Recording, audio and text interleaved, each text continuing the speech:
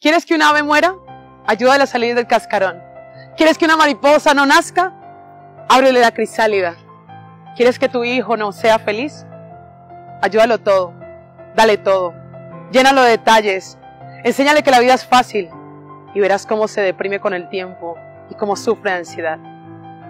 Los papás se les ocurrió la brillante idea cuando tenían momentos de dificultad de decir, yo no quiero que mis hijos sufran como yo he sufrido.